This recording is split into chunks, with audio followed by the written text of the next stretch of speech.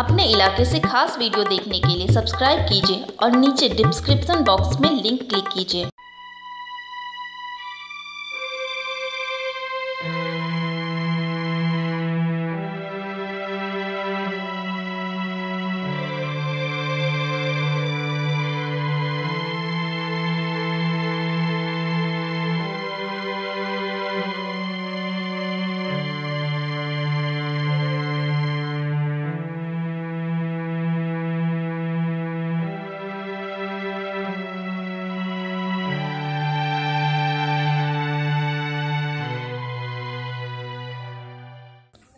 क्या कारण था? आपकी लड़की किस कारण मरी है?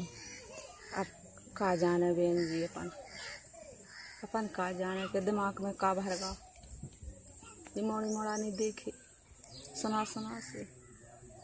अपन लड़ाई लड़ ली सब कर ली समाप्त हो जाता। तो आपको कब पता चला था? हम जब पता पड़ा जब बाई लटका लटक गई। कहाँ थी जब उसने हम सफ़र भी गए थे। इन मोनी मोड़ा छूट गए थे कि तुम देख बासन मारी बैठे खेल रहे थे ऊपर चढ़े थे वो काला का कह रहा कि भाई हमें भगा था तो भग जाओ जाओ खेलिया तो का कर रहे तुम ओ जानो जो खेल भी आए जानो तो आप लोगों को कैसे पता चला था कि बहू ने फांसी लगा ली है जे हमें जेठानी आई नहा के सो पे बाल्टी रख भी गई नात नहीं गई हाँ और नात नहीं गई सो न देखो बियोर चल आने सो जाने ज़ोर गए। तो क्या कभी लड़ाई झगड़ा नहीं हुआ आपको? कहूँ नहीं घर ही नहीं रखते भी। गाड़ी लेकर जाओ कर तो किस वजह से फांसी लगाई है? क्या कोई पता है आप लोगों को? कुछ नहीं।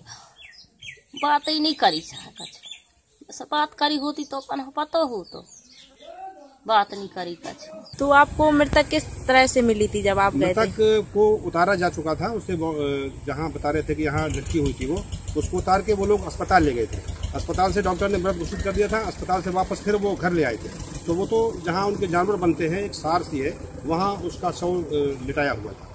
पोस्टमार्टम रिपोर्ट आज शाम को हमको मिल जाएगी और उसका अवलोकन करने के बाद जल्दी से जल्दी जो भी जो भी न्याय संगत विधि सम्मत कार्रवाई होगी वो होगी। उसका कारण क्या है? आत्महत्या है या फिर कोई लड़ाई नहीं कर सकते। जब तक पोस्टमार्टम रिपोर्ट नहीं आ जाएगी हम कुछ नहीं कर सकते। पोस्टमार्टम रिपोर्ट से ही पता चलता है कि वास्तविकता क्या है।